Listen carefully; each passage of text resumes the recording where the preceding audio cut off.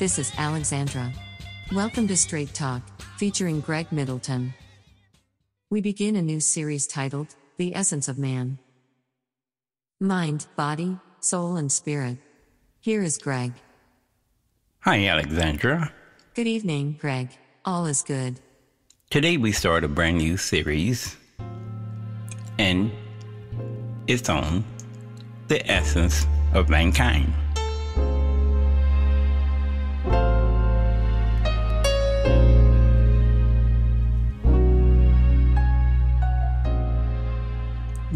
Me being one of nearly 8 billion people on the planet, I think I'm qualified to speak about us. So I'd like to start this series in explaining who we are, what we are, and how we got here. We are mind, body, soul, and spirit. Welcome to my Straight Talk. In our podcast video series, we've attempted to bring you straightforward talk about several subjects regarding faith and belief. Our topics were directly mainly to a Christian body of believers. Not all people believe in God in the same manner, nor do they believe in the same God. There are several gods with a small g, but only one that is supreme over them all. There is but one that stands above all and started all of creation. This God is fully contained within his own. There is nothing outside of Elohim, my creator. He is also Adonai, my master, Jehovah, my Lord God, El Shaddai, my supplier, Shammah, my abiding presence, Rophe, my healer, with several other titles and functions that we've attributed to him. Everything originated out of one divine supreme God, who is Elohim, the creator of all. Now, of the other names of Jehovah God, Elohim is specifically defined as my creator. Now, you might be thinking, What's in a name? To us, everything. This is because when we hear a name, it automatically triggers an emotional response attached to an impression of what our mind thinks. When you hear the title God, although it is not a name itself, it triggers what we think about the divine being. When you get into the names of God, that takes us to what we were taught or not taught about such a being. To some, it is the most high God above all things, and to others, it is only a spark that is triggered without knowing why. Well, the why is because God created you and placed His Spirit in each of us. We only need to activate what was placed in us. Depending on your culture, you may have learned of many names of God that lord over various things that mankind has assimilated into their worship practices. Before we became sophisticated enough to figure out the elements around us or where things appear to be coming from, we attributed what we could not understand to an unnamed God. We did not know who or what this God might be.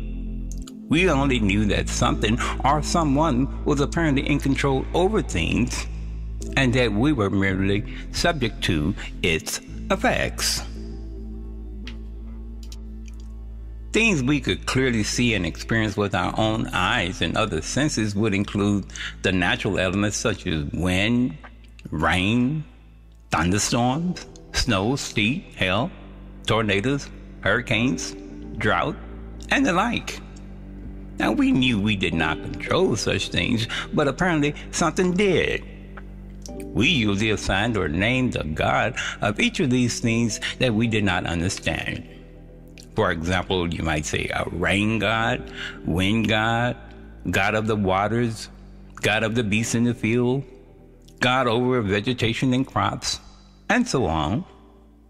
At one point, we naturally feared these gods and pleaded with them to provide our needs or for protection from harm caused by these elements. Many built idols to worship or pay homage to these unknown gods, which did not make Elohim happy, giving his credit to graven idols made by the hands of man.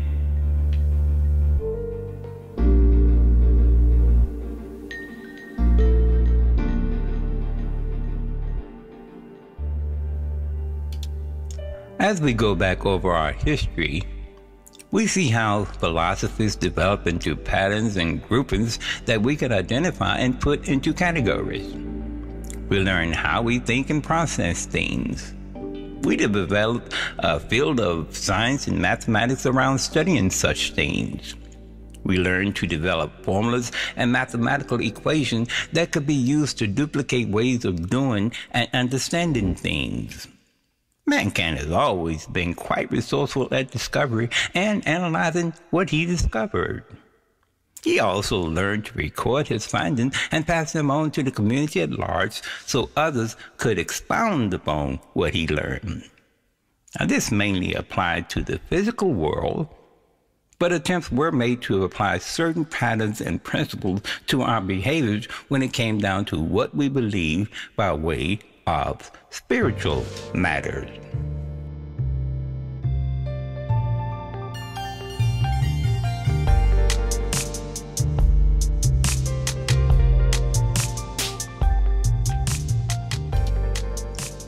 What I'm explaining to you is a separate track of belief that was developed at the hands of man to assist him in understanding things that he had no real provable answers.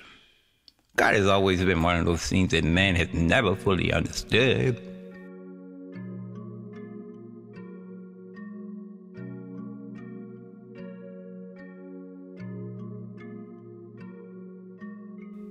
People of faith took one track while people of science took another track. The world of scientific proof would be totally different from the world of faith in an unseen God. Science wants verifiable proof, while faith believes without it.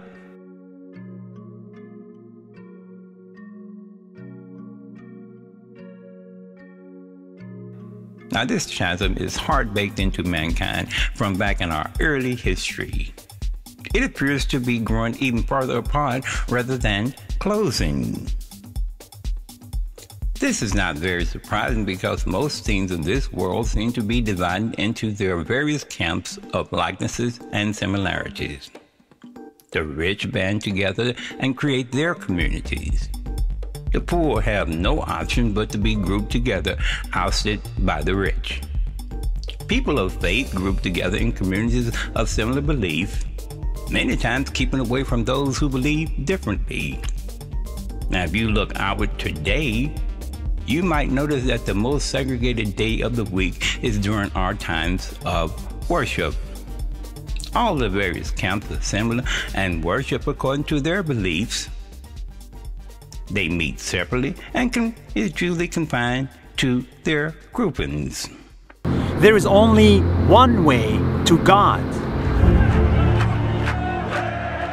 But Steve's faith is unique because it's really not about that. There's no one one way to heaven, no one way to paradise. It's like television. Now it's over 800 channels of cable, and they're all pretty entertaining. So I'm pretty sure, man, that to get to heaven, there's got to be more than one route. Because somebody watching another channel or taking another channel than you, they still getting entertained, and they probably still getting to heaven. This isn't just talk. Steve lives by these words. He has three sons. Two of them, he gave them Christian names like Broderick, and one of them he gave a Muslim name, Ali, as a sign of respect and appreciation for the Muslim religion and the Muslim culture. I named him Ali because I knew, I knew then. That he I might be different. I knew. And you have no problems with it? No. Because when you come here, you understand Islam is a religion of peace. Why you got a problem with peace? Christians and Muslims rally, group together for worship. Muslims and Jews rarely meet to worship their God. The same is true about most other world renowned religions. As you might expect, human beings have carved this large planet into our own slices of the pie that we feel comfortable associating with, while all but ignoring those who live on the other side of the tracks. We didn't even talk about the world of business yet, which is so extremely competitive. Tribes, tribalism, territory, land, and proprietary rights divide us into groupings beyond mere faith and belief. Such lines are drawn along financial and proprietary lines in addition to the ones of faith and belief, or disbelief. Our world is one big ball of individual cults and groupings. Now, this brings me to my title for this initial episode regarding the essence of man. What are we? Who are we? Why are we? And how did we become us? Since I'm a Christian by faith, I can only tell you things that my Lord has somehow revealed to me. That knowledge would be contained in our holy scriptures for reference, but not everyone takes the time to read, study, or practice the fundamentals that are mutually accepted among their groups. Some only believe by declaration, meaning there is nothing behind their stated words. No practice, no worship, no sacrifice, no acts, nor deeds. Now, the parable of the sower would give you a good analogy of these various kinds of believers, and which is listed in Matthew 13. You can read that separately when you have the time. Or right now. I'll wait for you. I won't be going anywhere anytime soon.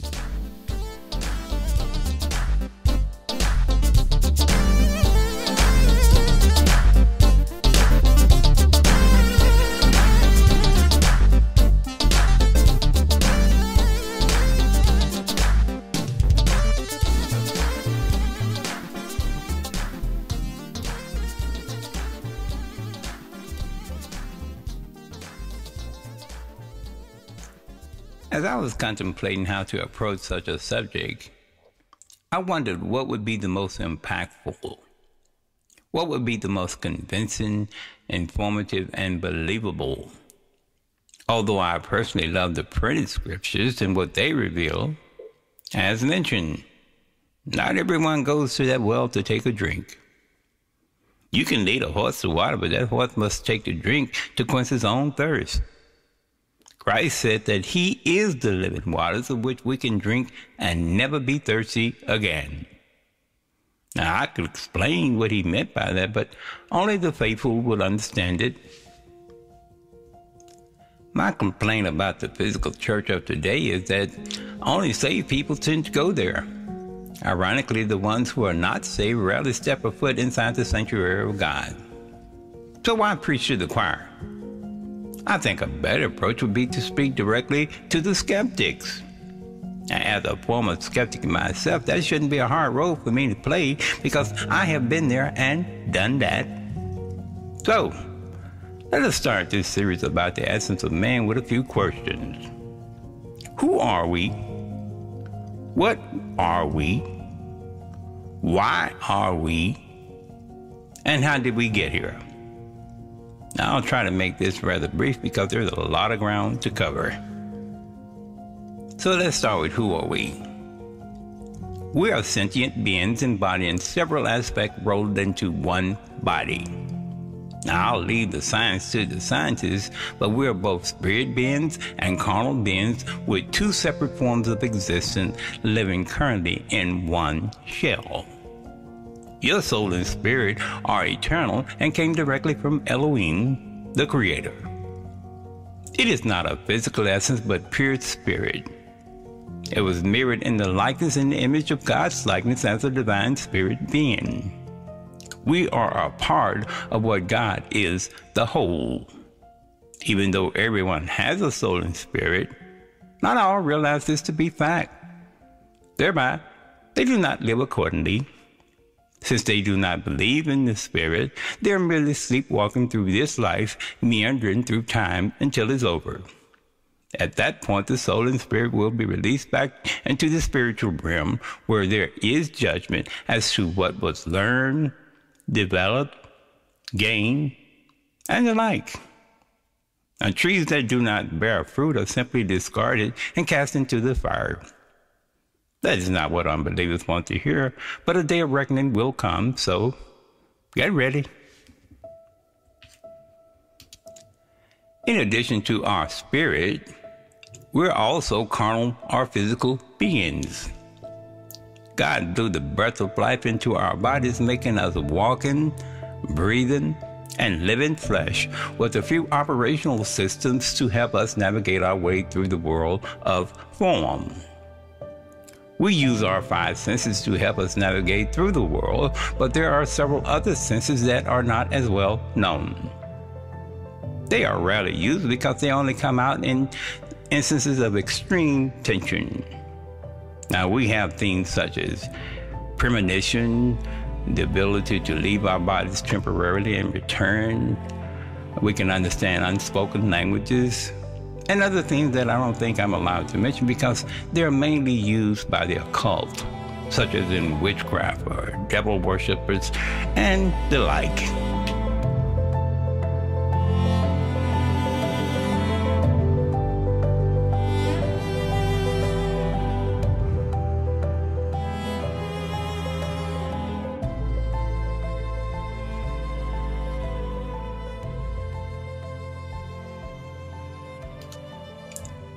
Your physical body is a housing for your soul and spirit and your natural being that is here to learn, to grow, develop, and mature spiritually. The body is your vehicle that you may use or misuse to achieve your divine mission upon the earth.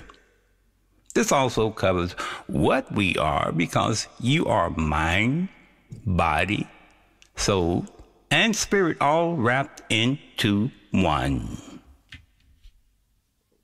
Next, why are we here? God created you for His purposes in order to achieve His divine reason for creating you. You're not just another ant in a huge ant colony, but a sentient being made in the likeness of God to be like Him and to learn and develop His essences. There are many fruits on the tree, but not all of them are good. Some will have rotten spots. Some will become infected by worms or bacteria or other harmful elements that would corrupt the fruit. Now, those corrupted fruit will usually fall to the ground and rot, while the good fruit will be consumed, lifted up, and returned back to the Maker at the appointed time. Now, there's a time to be born and a time to die. We're not immortal while living in these bodies of flesh. God appoints the time and the venues of our birth to coincide with His divine will and plan for us to prosper, giving us hope and a future with Him throughout eternity. And finally, I want to cover how we became us. As mentioned, God is the potter he makes every pot there is and puts in the pot what he knows they need to achieve what he ultimately has in mind for them. God wants us to be like him and to have what he has to offer to us. Now we can reject God even though we do not even own our own selves. The bodies we live in belong to Elohim. We have the free will to even curse God, but should God decide to pull his hand of life out of our mortal bodies, they will return to the dirt from which they came. Now, as we continue with this series regarding the essence of man, I hope to cover more about our nature, about why we do things as we do, and why we don't do things that God would like to see us do. We're somewhat defined by nature, but in cases, some cases, that could be a strength showing your desire to be like God, having certain powers and abilities. However, that feeling of pride must be tamed and made humble because there is only one divine God. Two wolves cannot rule in this pasture. Satan tried that and see what happened to him? A split occurred in the heavenly abode, losing one third of the spiritual kingdom during the fall. Even though this happened in the heavenly abode, it directly impacted us, who are sentient mortal beings currently assigned to a confined body with a short expiration date. Our souls and spirits are eternal. Yet our temporary beings here on the earth only have a short time to achieve God's mission for us. Once you understand how significant life and being here is on the earth and what you need to be doing to prepare for eternity, perhaps you might want to consider reversing your priorities. We spend so much of our waking moments worrying about things of the earth and very little time securing our pathways through eternity. Your time here, comparably, is not even the bat of an eye to God, but it carries consequences. Now, God will answer all your questions should you want to know more. He tells us in Matthew to ask, seek, and knock. He also says that my people don't have because they don't ask. That's in James 4. So here's my final verdict for this beginning episode. You are a triune being of sorts. You are fully human that has a mind that often gets you in trouble when it deviates from God. Your soul and spirit are directly from God. The only control you have is to allow the Lord to teach you, to develop you, and to return your soul and spirit back to Him in better condition than when it started. Now, you were once a child and thought as a child. But once you became older, you expected to act older and more matured in the ways of God. God is not only watching over you, but He is also actually having His being through you while you are here on the earth. Now keep that thought in mind as you go about your daily business of living life on planet Earth for just a brief slice of time. To Almighty God be the glory. Selah. Book of Revelation, uh-huh. chapter 7, verses 16 and 17. Yes, sir. They shall hunger no more, neither shall they thirst anymore. Preach, preacher. For God shall wipe away, yes, sir, every tear from their eye. Yes, sir. Get ready for the revolution. Come on.